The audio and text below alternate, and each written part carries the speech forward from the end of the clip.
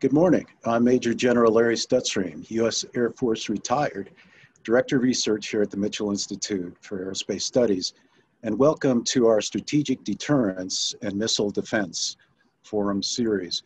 We're delighted to have with us today Colonel Moshe Patel, Israeli Air Force retired. He is currently the Director and General Manager of the Israeli Missile Defense Organization, or otherwise known as IMDO, which is part of the Israeli Ministry of Defense Directorate for Research and Development. Before retiring from the Israeli Air Force, Colonel Patel served in many leadership positions within the Israeli Missile Defense Organization. He helped develop and deploy the Arrow weapon system. Following his military retirement, he joined Elbit Systems where his responsibilities included development of the command and control element of the Arrow weapon system, David Sling weapon system, and the Israel test bed and artillery, tactical and intelligence systems, as well as all other parts and pieces. He also managed the IR Missile Warning Solution Division. In May of 2016, he was appointed to his current position as Director and General Manager of the Israeli Missile Defense Organization. Well, Colonel Patel, uh, thank you for taking time to join us today. It's such a pleasure to host someone as accomplished as yourself to speak more to the missile defense component of deterrence. It provides us a view outside the established U.S. Department of Defense mindset, uh, although we all have, uh, both of our countries are focused largely on the same goals. With that in mind, Colonel, I'd like to kick things off by giving you an opportunity to go over the missions and priorities of the Israeli Missile Defense Organization. Over to you, sir. Thank you very much, General, uh, for your kind introduction. And uh, it's a great honor for me to be here at the Mitchell Institute Aerospace uh, Studies guest. Uh, before I start, I would like to recognize my colleagues and partners from the Missile Defense Agency. Uh, without them, for, with cooperation of more than 30 years, we were not uh, at this stage that we are now here in Israel. Uh, so let me start uh, with giving some of uh, our uh, introduction and background. If very pleased to the next slide.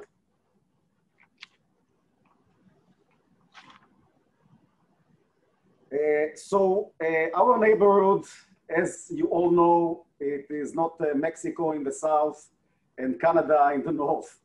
the neighborhood is very, very tough we are suffering uh, for uh, many, many years uh, with uh, any kind of uh, uh, rockets, missiles that can attack Israel.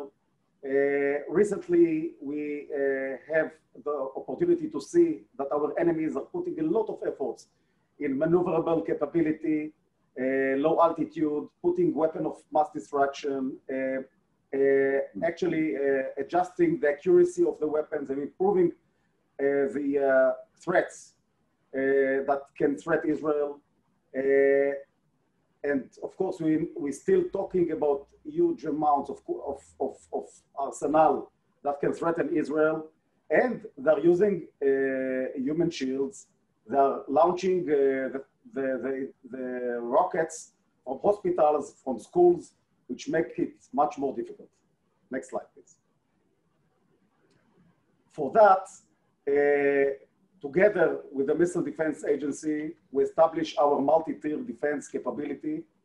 Uh, we started in the past, back in the 80s, with the Arrow weapon system, uh, and then we went up to Arrow 3 and went down to Iron Dome and to uh, David Sling. So at the lower tier, for medium and short range rockets and UAVs, we have the Iron Dome. Above the, that, we have the David Sling weapon system, which is good for cruise missiles, for rockets, for uh, uh, accurate uh, weapons, for medium to long range.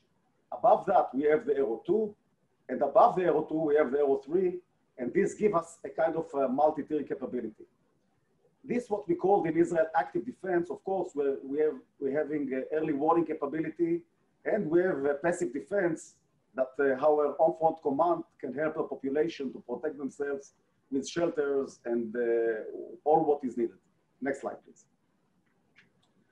Uh, when we start our uh, uh, our efforts in the past, we start with, from batteries. Uh, the Arrow weapon system started as a one battery, then we expanded it to two, to three. Uh, but we came to, into conclusion that it's better to work with arrays. So we have usually one central command and control with a backup capability, of course, that uh, receive information for many kind of sensors, either uh, uh, RF or electro-optic, and of course using the best interceptor that can do the mission. And what I can say that, that in all of our multi-tier capability or array of systems, uh, uh, interoperable between themselves, and of course have a very good interoperability connecting to US systems that can be deployed into our region. Next slide, please. Let me go over uh, one by one uh, of our weapon system. So let me start with uh, the lower, lower tier that, system that we have. This is our Iron Dome. It was developed in a very rapid uh, and development capability from declaring uh, FSD end of 2007 in March 2011, three and a half years, we have the first IOC. It is, it's a combat proven, more than 2,000 uh, successful uh, operational interception until now. Uh, very high success ratio, uh, low costs, uh, high efficiency. As my colleagues in the MDA are saying, don't say cheap, say affordable. So very, very affordable system. Capability to handle salvos, uh, have mobile capability, robust capability. We have selectivity. We can uh, actually intercept threats that are threatening parts that we would like to, de to defense. Next, please. So uh, our 2020 status is that until now, actually we developed the system and upgrade the system uh, along the years only by software. Uh, we are now in the, in the position to, uh, to re-evaluate and to assess our capability and maybe uh, to do in the future some hardware changes. But until now, we extend our capability only with improving our uh, algorithm capability. We have a multi-year flight test plan uh, that in each of uh, the flight test, we are extending the capabilities and stretching the envelope of the system. What I can say is that uh, we have now a full co-production capability with the US uh, uh, companies according to what we agreed in our memorandum for understanding. So uh, uh, I can say that 70% of the components of Iron Dome uh, interceptors are being produced in the United States uh, Uh, and of course, uh, uh, all the data and whatever need, needed to be uh, transferred to the US companies in order to produce the Iron Dome have been uh, done in the past. We are very, very happy that the US Army decided to purchase two Iron Dome batteries. And by the end of this month, we are going to deliver, I'm glad to announce that we are going to deliver the first battery for the US Army and uh, the second battery, according to the plan, according to the agreements, according to the contract, will be delivered by the end of this year. The US Army will have the capability uh, to train uh, with those batteries, and whenever they will be uh, ready to deploy them, they will deploy them. Next slide, please. What I would like to mention that uh, we have uh, also Iron Dome capability by sea, uh, uh, now in, on our Sa'ar 5 uh, vessels, we have the Iron Dome capability.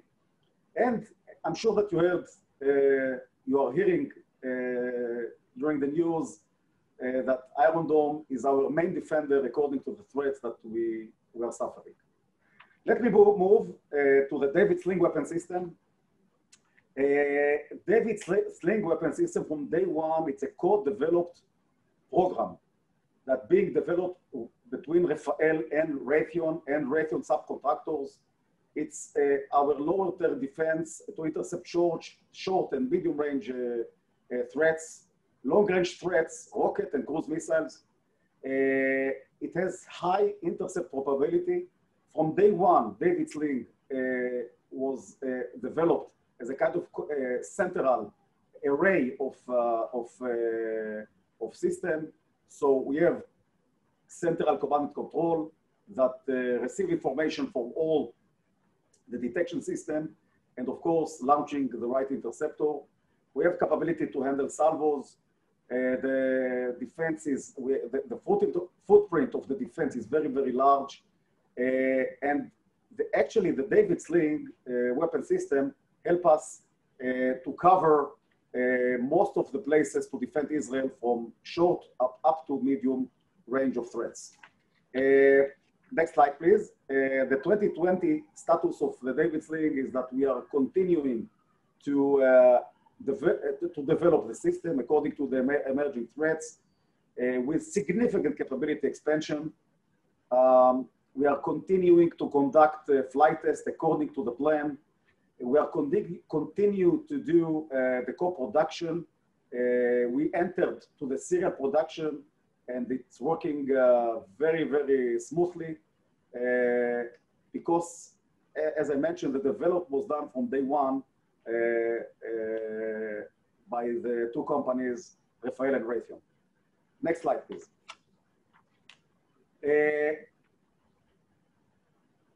we are now going to the Arrow. Arrow 2 uh, system is the most veteran system in our array it has the capability to do endo and exo-atmospheric uh, interception. It has a very large defense footprint. As I mentioned, we started in a batteries uh, uh, architecture, and now we are talking about array, like the David Sling. We have central command and control, and uh, we, uh, to the central command and control, all the detection systems are being connected. US system is be, are being connected through uh, Link 16 and interoperability communication. Uh, and um, and uh, actually, we can, I mean, the system can decide to launch Arrow 2 or Arrow 3. We have one command and control handling both interceptor, interceptors. Uh, I'm very glad, uh, I'm sure that you, most of you heard from the news that just recently we conducted a very successful flight test with Arrow 2 we are very proud of uh, this uh, flight test uh, with, um, with some reasons. Some of them are because we are talking about 20 years um, old system that actually improve itself with four or five upgraded blocks that can counter emerging threats. I can say that during the, the, the last flight test, all of our uh, system participated uh, in a shadow mode and uh, worked uh, in, with full inter interoperability capability with, between all the systems. Next slide, please. Uh, Arrow 3 is our exo-atmospheric interceptor. interceptor. It has a very unique divert capability. Uh, we developed this system in order to minimize the leakage rate especially when talking about weapon of mass destruction uh, warheads. Uh, it has also a very large uh, defense footprint. as I mentioned, the Arrow 3 is part of our Arrow weapon array and was adapted to the original Arrow 2 weapon system. next slide, please. our uh, our achievement uh, last achievement with Arrow 3 was conducted last year in the flight test in Alaska.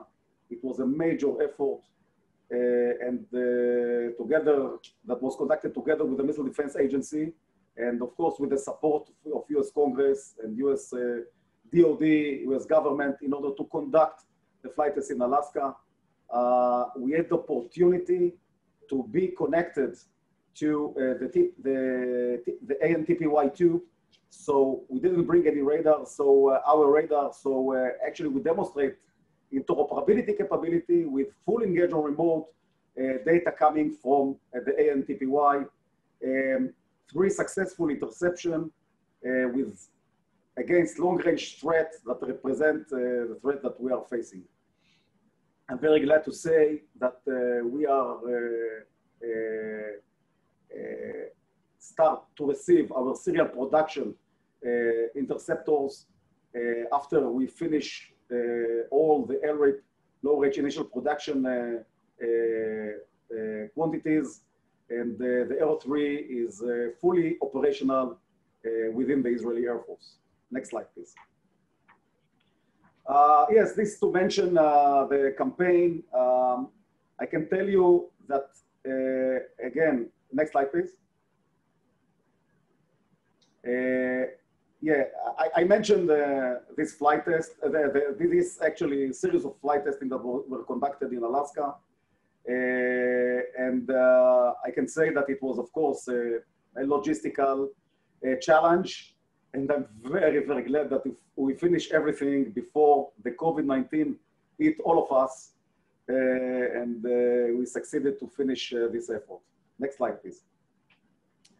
Uh, when Israel joined, uh, when Israel actually uh, was one of the first nations to join President Reagan initiative of the Star War, two efforts have been initiated. One was the Arrow, it was origin originally the Air 1 that was developed into the Air 2. The second one was our test bed. It's the, a better lab that help us to build the concept of operation, to build the architecture that is needed. It helped our forces to train together before going into exercises that being uh, uh, with the real systems. Uh, it's, it has been used since uh, 92 for many, many exercises uh, with a full coordinated plan with, uh, of course, MDA and EUCOM. And I can tell you that before each major exercise, we are uh, preparing ourselves in this uh, tool. We have a location here in Israel and another location in Huntsville, Alabama. Both labs can work together, share information, and we can conduct exercises either in Huntsville, Alabama or in Israel or together. Next slide, please. Uh, I mentioned the interoperability. Uh, I can tell you that from day one, we had the requirement uh, from US Congress and of course uh, the Missile Defense Agency to have interoperability capability in within our system. The Arrow 2, uh, the first operational block of Arrow 2 has this in, in, interoperability capability. And of course, it was demonstrated with um, a long, uh, along a lot of exercises. And uh, of course, the joint flight test that was conducted in Alaska last year demonstrated the most sophisticated capability that we can have within the interoperability efforts, which uh, fully engage on remote. And we are very, very proud to have this capability. So uh, having said that, I think it's, it's the best to see the movie. So Evgeny, if you can hit the video.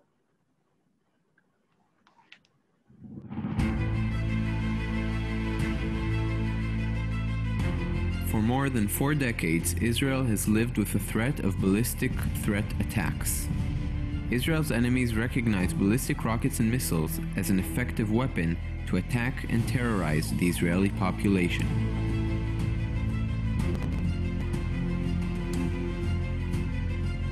Over the years, this threat has become more lethal, with longer ranges, vastly increasing quantities, diversification, and precision.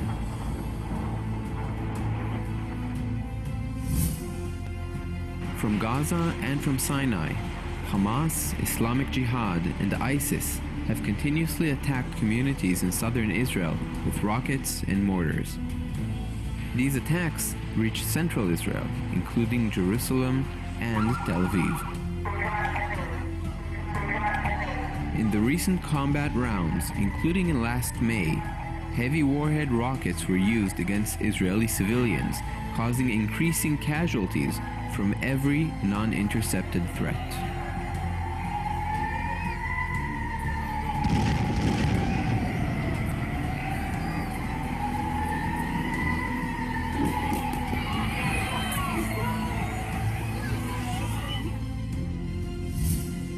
In Lebanon, Hezbollah, supported by Iran, is the world's most heavily armed non-state actor, deploying against Israel over 100,000 rockets and mortars, along with SRBMs, many attack UAVs, and a significant number of cruise missiles. المقاومة تستطيع أن تستهدف كامل هذه الجغرافيا حتى إيلات دوا صاروخية مثلا آلاف عشرات الآلاف هلا ما بدي أعطي أرقام دقيقة. وكلها بتقدر تطال هاي المنطقة.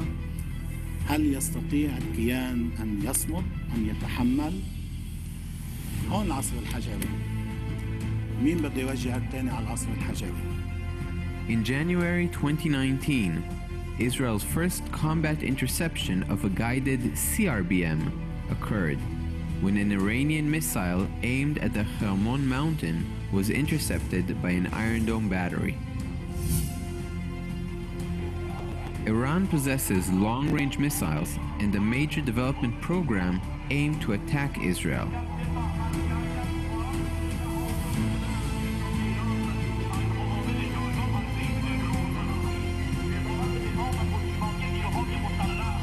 Along the years, the ballistic threat has become more accurate, more lethal, with fast growing quantities covering all of Israel. Counter this complex threat, both offensive capabilities and a multi tier defense architecture were defined and developed over the years. The Combined Defense Array is operated by the Israeli Air Force and is fully deployed over all of Israel in order to provide operational flexibility and immediate response when required. Iron Dome Iron Dome is the first system of its kind. It was developed to counter attacks of short range rockets.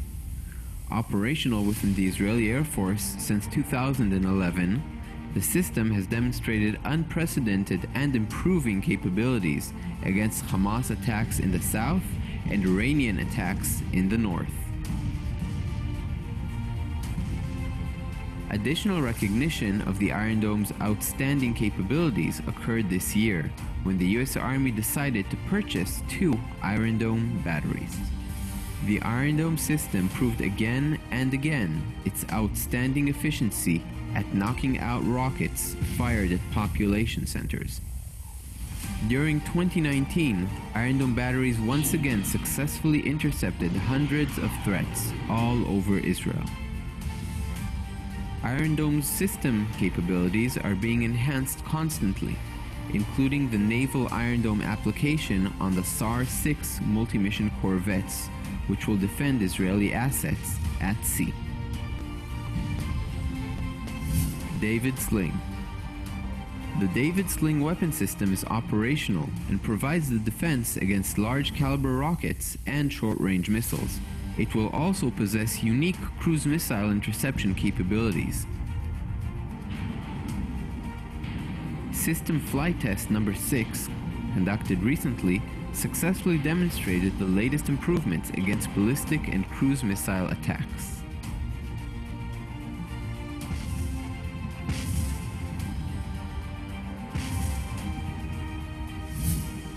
Arrow Weapon System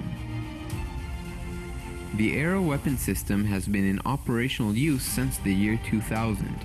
The Arrow 2 interceptors proved interception capabilities in numerous tests conducted in Israel and in the United States, as well as in operational use.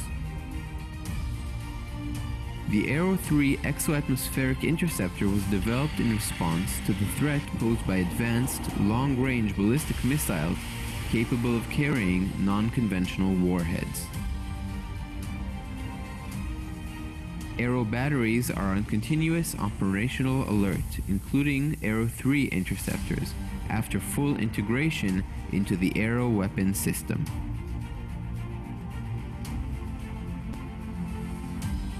Arrow 3 demonstrated outstanding capabilities to hit and destroy long range ballistic missiles high above the atmosphere in an unprecedented three hit to kill exo-atmospheric interceptions within 10 days.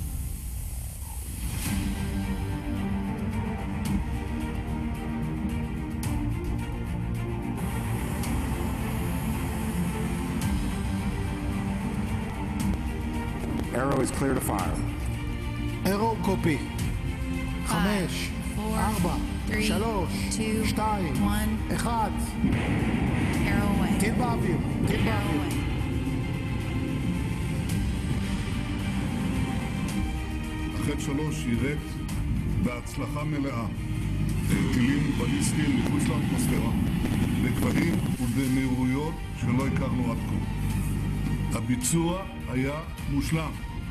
כל פגיעה בול. היום יש לישראל את היכולת לפעול נגד טילים בליסטיים שישוגרו נגדנו מאיראן או מכל מקום אחר. זהו הישג אדיר לביטחון ישראל, וידעו כל אויבינו, גם בהגנה וגם בהתקפה, שאנחנו נוכל להם. Iron Dome, David Sling, and Arrow weapon system components are co produced in Israel and in the United States under high technological and production quality standards. Israel and the US ballistic missile defense systems are interoperable and are being exercised on a routine basis in simulators and in the field, including a recent deployment of the US operational THAAD battery to Israel. The ITB, the Israeli test bed at Elbit, is an efficient battle simulator for missile defense practice. Many interoperability capabilities are practiced by joint teams at this facility. The US TPY 2 radar successfully participated in the Alaska flight test, demonstrating a high end interoperability capability. The multi tier ballistic defense system, built and established by Israel and our US ally, safeguards the state of Israel against the constantly growing threat of rockets, ballistic missiles, and cruise missiles.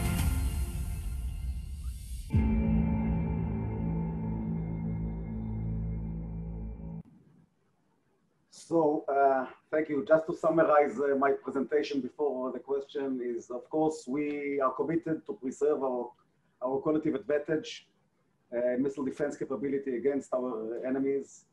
And again, I mentioned it at the beginning, without, without the huge partnership that we have with US uh, uh, DOD, with US Missile Defense Agency, with US Congress, uh, we wouldn't be where we are and we are very, very thankful for that. And I, I would like to mention something which is very, very important. Uh, the, the, the, the, cooperation is just, it, it is not just sending the budget or the money, it is managing together the programs. And this is how uh, it make, makes them much more, uh, in much more quality. Thank you very much.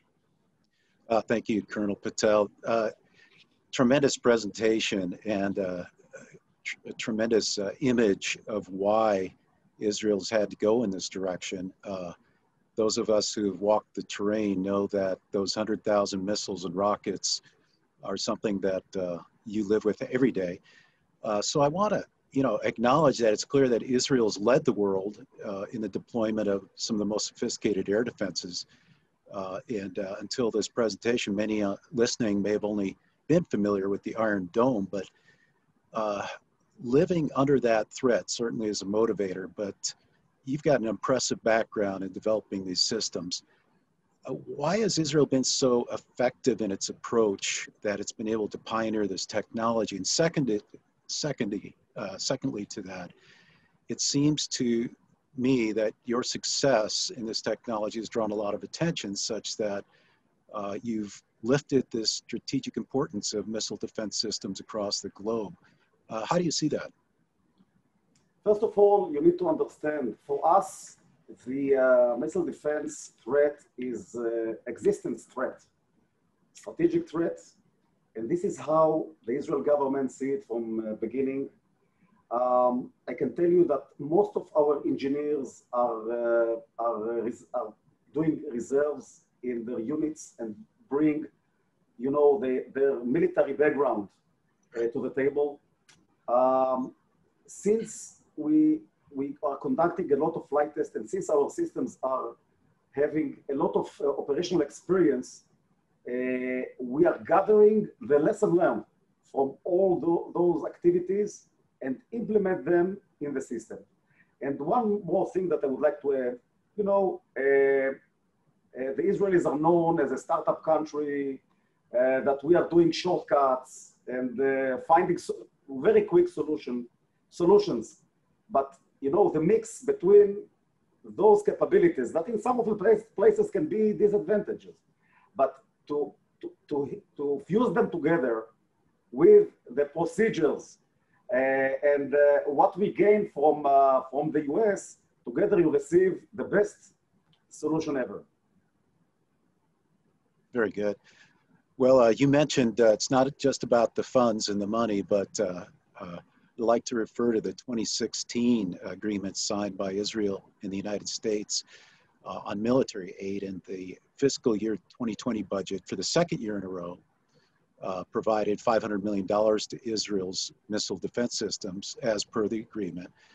and that was, of course, on top of the budget's foreign military financing level. First, in terms of the relationship between our two countries. What's the importance of this funding? And can you give us some insight into how that funding would be used in programs or priorities? Uh, first of all, we are almost uh, after 33 years of supporting our missile defense capability in Israel. And we are very, very proud uh, of this kind of cooperation. Uh, and the, the memorandum of understanding that gives us a firm a budget of 500 million, million per year can help us uh, to plan uh, in long terms. Uh, before that, uh, most of the budget came from uh, DoD budget, and then we went to Congress and asked for more plus ups.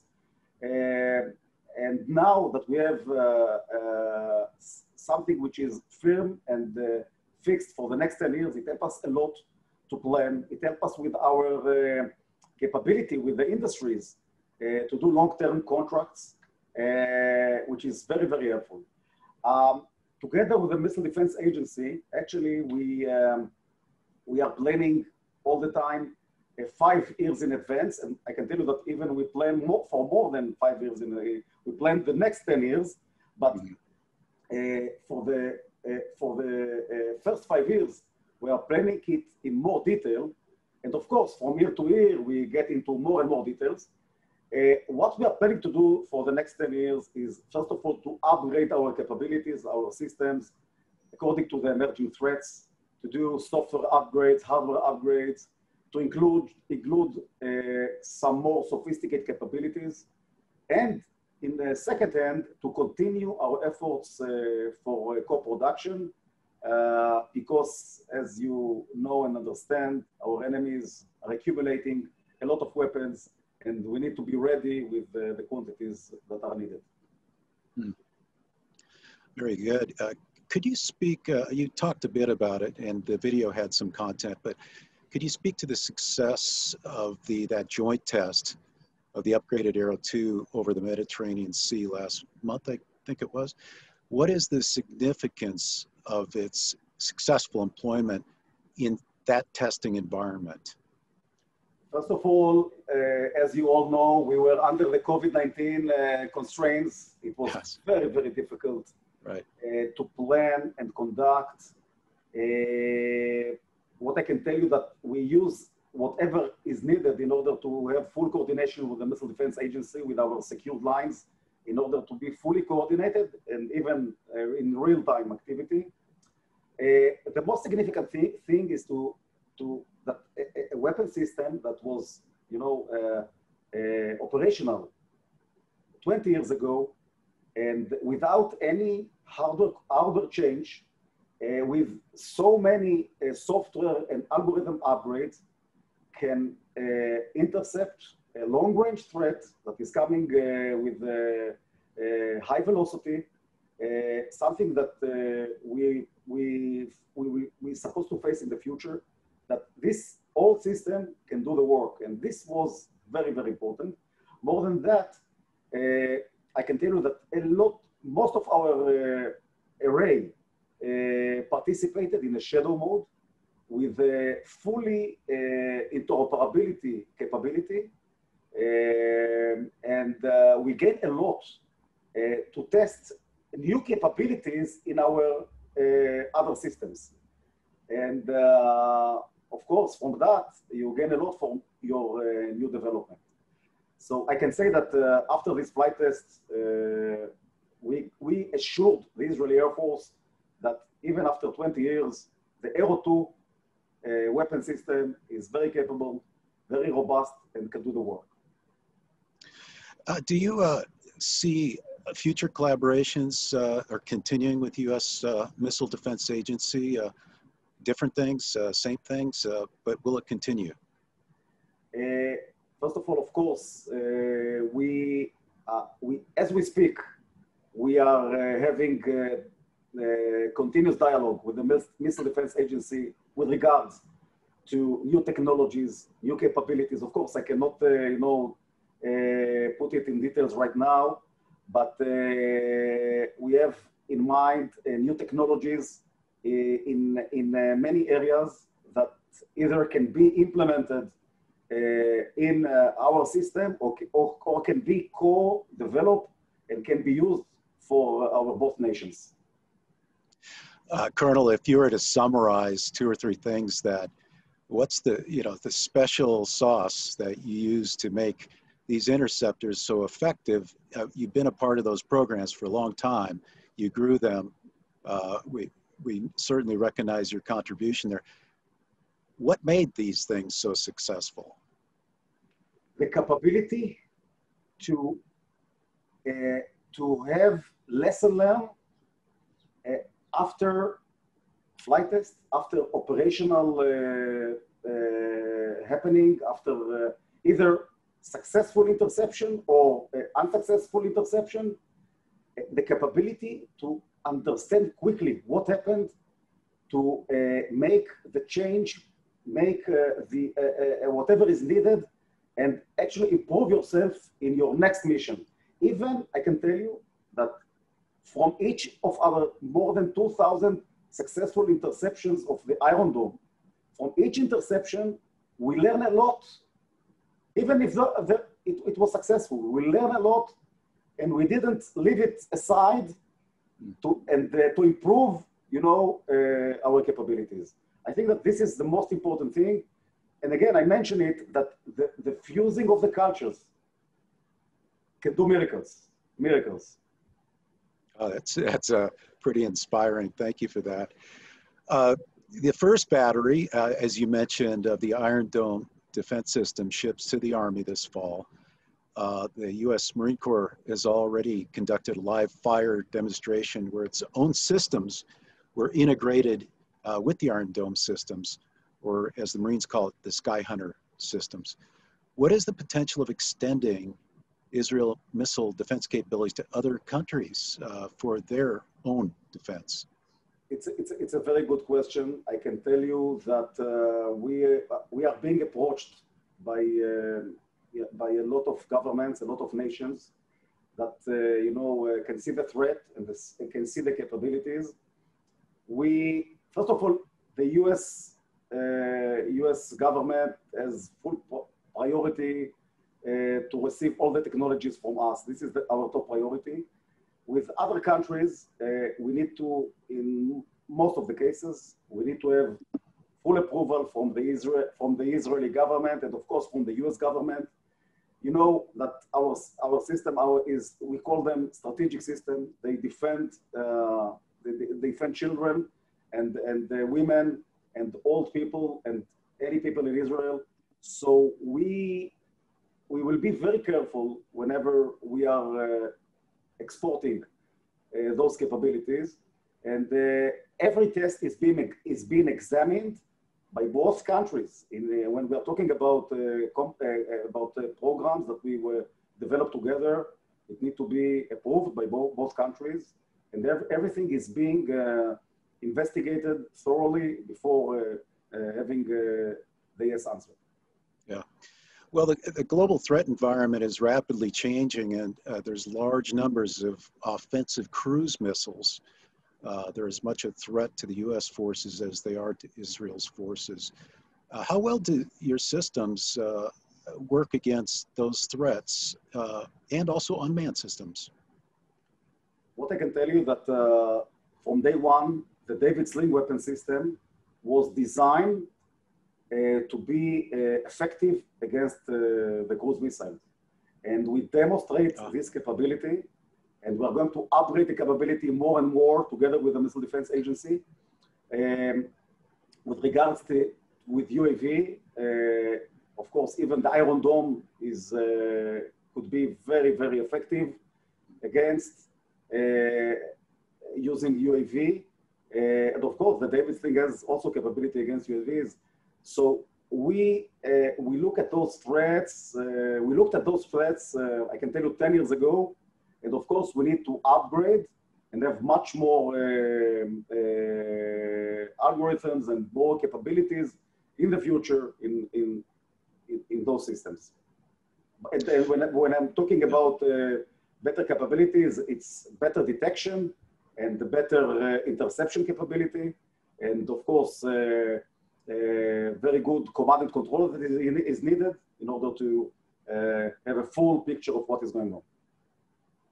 Well, let me uh, swing the discussion a bit to uh, a bigger context. Uh, of course, you've watched the threat, you live there with the threat. Uh, what is Iran, in your opinion, trying to achieve with its missile arsenal?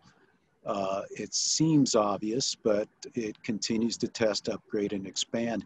How do you regard that threat in the context of your uh, missile defense programs?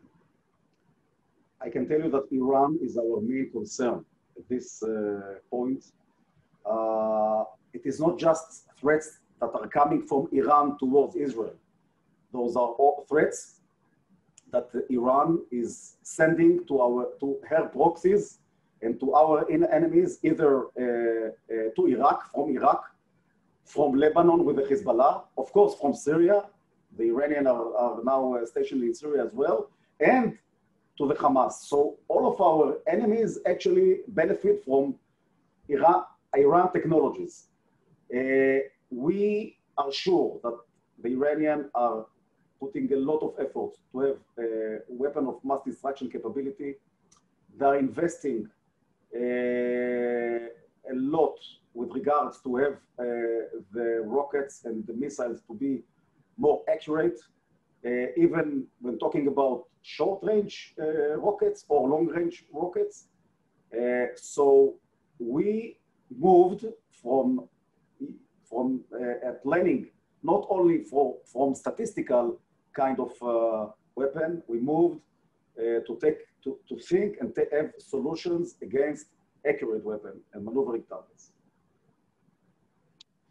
Interesting. Well, uh, let me press on that a little bit more. Uh, you have a historic agreement, peace agreement, reached uh, between Israel and the United Arab Emirates. Uh, I think there have been many breakthroughs. Uh, it's an incredible time. And just days ago, I understand phone calls and direct flights were made between the two countries, uh, unheard of or unthought could ever happen. And there's some reporting there was secret collaboration between the two countries on COVID 19.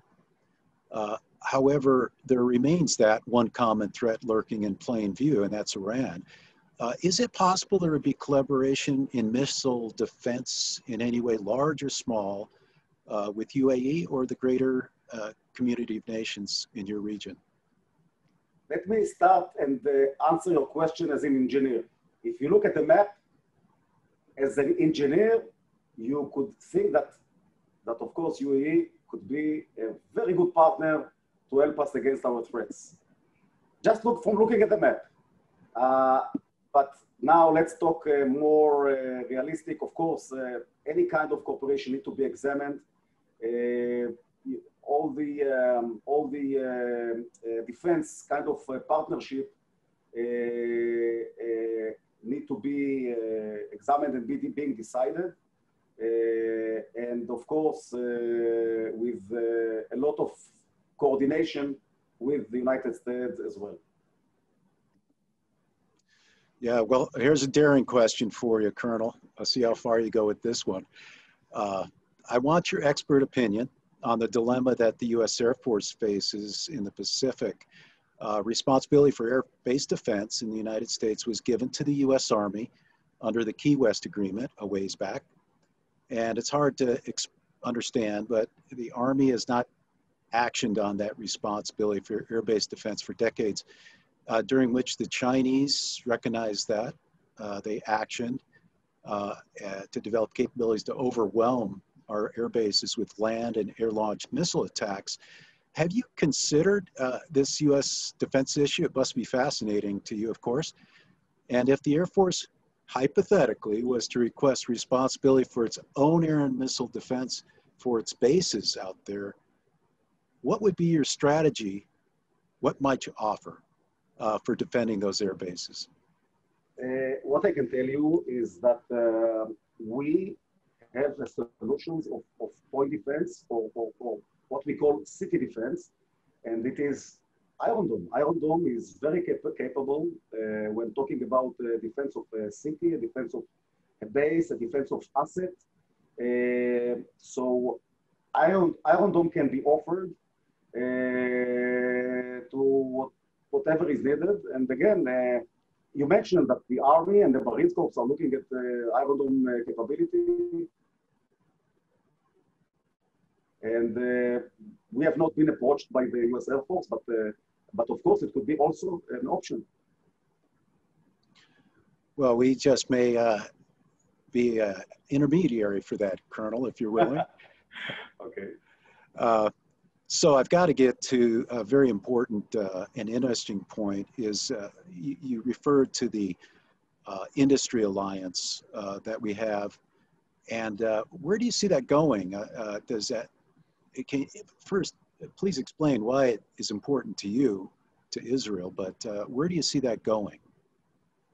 I can tell you that as we speak, there are a lot of initiatives that are coming back and forth between uh, our industries and the U.S. industries, the main uh, main uh, companies in the United States,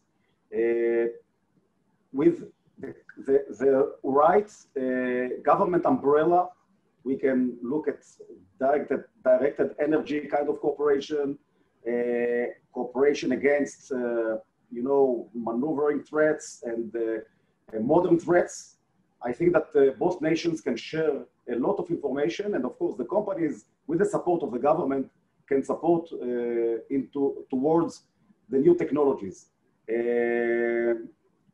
Uh, we are being asked by the Congress as well, how can we extend the technological uh, partnership?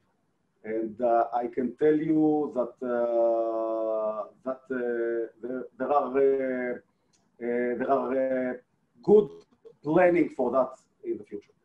Yeah, very good. Well, we've come to the end of this segment, Colonel Patel, and thank you again for taking time to share your insights with us today.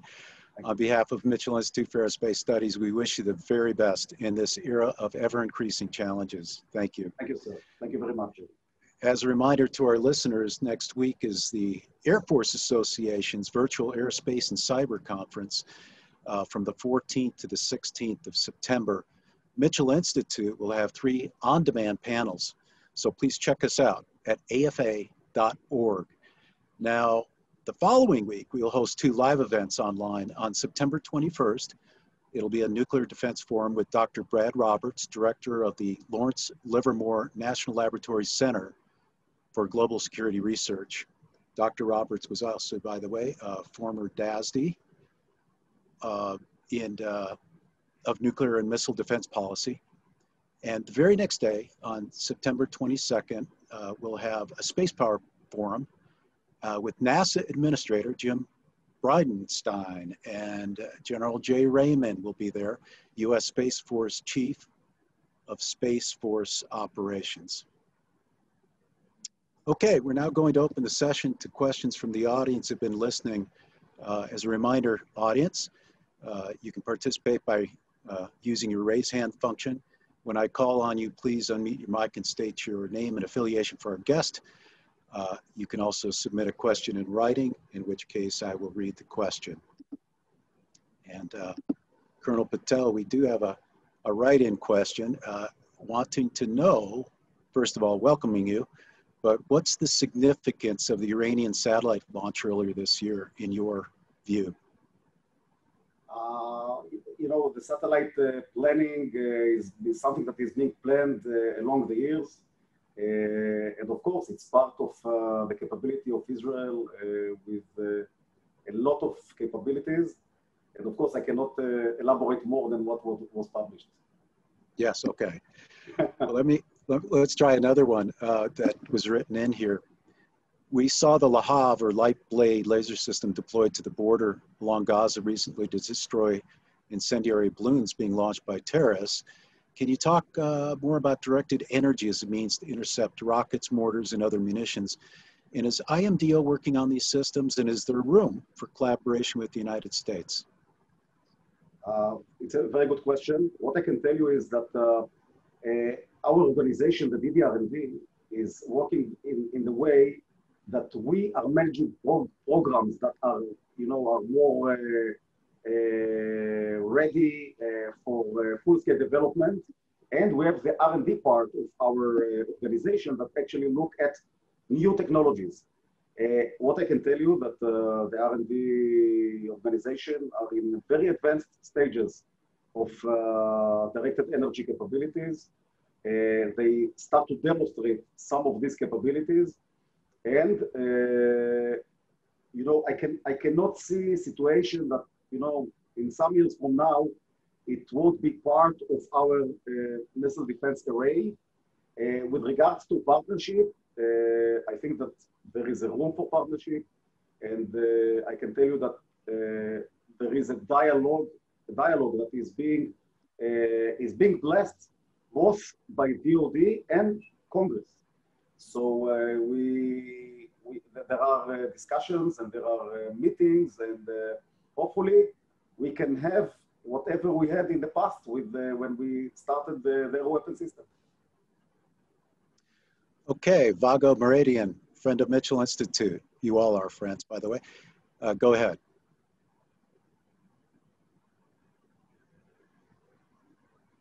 And Vago, can you? Sorry about that, Stutz. That's okay. Uh, sorry That's about okay. That. Sorry about that, Stutz. Uh, sir, uh, always, uh, always a pleasure. Terrific event and great series, and looking forward to uh, a terrific uh, virtual AFA next week. sir, you know, as you look at precision strike weapon programs around the world, whether they're Russia or Chinese, Iranian or North Korean, where do you project the threat being as you look forward right? I mean one of the great things uh, that israel's been able to do is skate to where the puck is going to be as you look downstream. As you look at all of these trends where do you see the threat from a global perspective uh, going as you look 10 15 years out 20 years out? Of course i think that uh, we need to look at this threat uh, what, what in the different words is being called as hypersonic threat. Uh, it, something that uh, we, we need to plan and prepare our, ourselves as, um, you know, the, the major nations are looking at.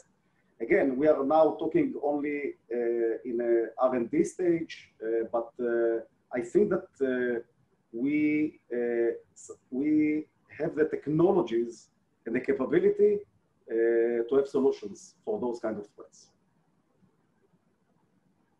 Very good. We've got a writing question from Chris Olson. Uh, the U.S. Army's Integrated Air and Missile Defense Battle Command Systems, IBCS, boasts an open systems architecture to increase interoperability with joint and partner air and missile defense systems, command and control systems, and sensors. Does Israel have any plans to make their systems interoperable with IBCS such as sharing sensor data or battle space awareness? Of course. What I can tell you is uh, that uh, all of our systems, starting from Arrow, going down to Iron Dome, have full interoperability capability, and we demonstrate this capability in Alaska flight testing. Uh, specifically talking about Iron Dome, uh, we know the requirements from the US Army and we are going to implement full interoperability capability in our Iron Dome system according to uh, US Army requirements. Very good. Uh, Brian McCullough from uh, Lockheed Martin asks, uh, interesting question. With peace within reach in the Gulf and perhaps less risk, do you lose some rationale for so many programs and capabilities? And secondly, where do Israeli missile defense foreign military sales go next? Can you project some future markets without getting in trouble? First of all, we need all the time to be ready. You know, uh, uh, of course, there are some uh, activities towards peace, but of course, our enemies are still there, and we, we need to be ready and capable, again, uh, you know, uh, to be ready against our enemies. Uh, with, with, regards to foreign military sales, what I can mention is uh, that uh, so far there are, as I mentioned, some some initiatives from different countries. Everything is being investigated, analyzed, and, and, being need to be approved by both both nations. But I cannot elaborate more than that. Understand. Uh, Colonel, we've got a question from the uh, defense attache for Italy in town here. Do you forecast any possibility for a joint missile defense architecture to protect some like-minded countries in the Eastern Mediterranean? Uh, first of all, this is something that technic technically can be done and will, that have a lot of advantages uh, but uh, of course, we need to work all the other aspects uh, and all the other umbrellas in order to make it happen. Uh, there were some initiatives like that in the in the in the past, uh, but of course, we need in that context uh, the umbrella of U.S. government and maybe NATO in order in order to have those capabilities yeah, definitely important for the future. There'll be lots of discussions, and fortunately, you're you're the man to uh, help inform that. Uh, one last question here, I believe, maybe uh, two last questions. Uh, Anonymous uh, says, you briefly mentioned C-Dome, which entered IOC in 2017. Can you give us an update on C-Dome's status, how it integrates with the overall Iron Dome system, and why a naval missile defense capability is an important addition to the overall missile defense strategy? Um, it's a very good question. Uh, uh, first of all, uh, I mentioned that uh, the Iron Dome is a more a point defense uh, system. Uh, Israel have assets in the sea that can, need to be protected. And of course, our vessels can do this protection. More than that, uh, our uh, vessels can work close to the shore and help uh, to protect from different angle, from different uh, detection uh, capability uh, to protect threats that are coming to the land. So this is another capability. I can tell you that both of our Sa'ar 5 and Sa'ar 6 will have the, the C-Dome or the Iron Dome capability. And they are fully connected. And actually, when we demonstrate our last flight test with, uh, with uh, this vessel, we do full engage or remote capability. So in one hand, we have the capability to intercept according to uh, that are coming from the land. We have the capability to uh, have uh, interception as on own detection. Uh, so all the, the orchestra could work together. Well, thank you, Colonel Patel. We've come to the end of our hour uh, in this installment of the Missile Defense Forum. Uh, Colonel Patel, both our nations are fortunate to have you where you're at. Uh, your insights are invaluable and it's been a pleasure. I hope we uh, have you on again in the future and in particular hope to work with you sometime soon. Thank you very so much, General. You it bet. And, and please thank your team. They were tremendous for their support today pass that on, please. Thank you very much, sir. Thank you. So to all of you from all of us at Mitchell Institute, thanks for joining us, us today and have a great aerospace powered day. Thank you.